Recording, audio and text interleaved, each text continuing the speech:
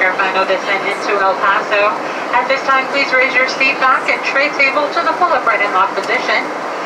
Make sure your carry-on items are completely stowed underneath the seat in front of you, leaving the area around your feet clear. And make sure your seatbelt is securely fastened around you. Once it is safe to do so, the flight attendants will make their way to the cabin, flight final time to collect all service items. Please be sure to check around your seating area as well as the seat back pocket in front of you for any additional items to be discarded. We should be landing in El Paso shortly. Please refrain from leaving your seat for the duration of the flight.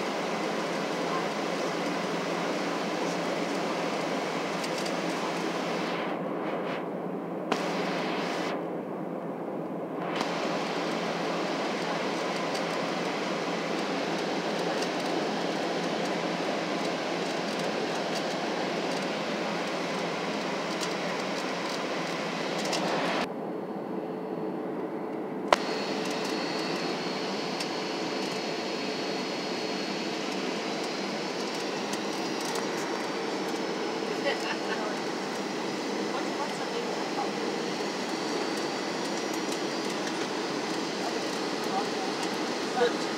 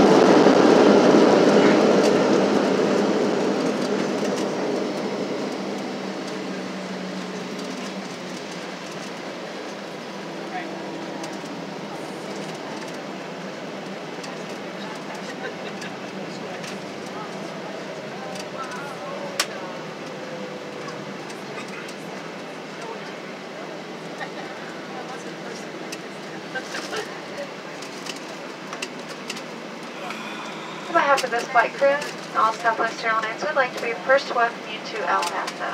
Please notice fast the seatbelt light is on. Remain seated, please, with your seatbelt fastened as long as that light, or until we've gotten up to the gate and the captain has turned off that light. Use caution when opening overhead bins. Items have a tendency to shift during flight and could fall out.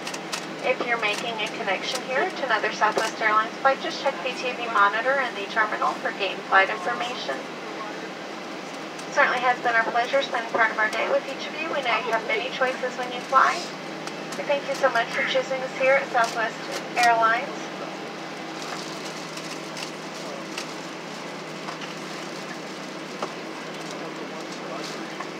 We weren't able to come through and pick up uh, trash at the end because of the turbulence. So if you'll just leave uh, the service items, cups, cans, newspapers, or any other trash you may have, just uh, leave it on your seat. We'll pick it up.